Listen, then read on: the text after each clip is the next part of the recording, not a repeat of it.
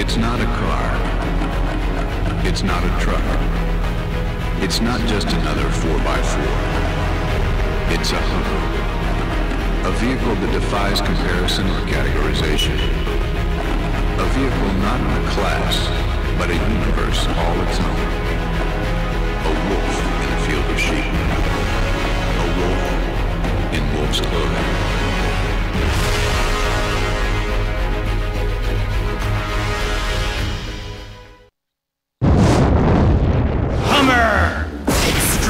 Edition.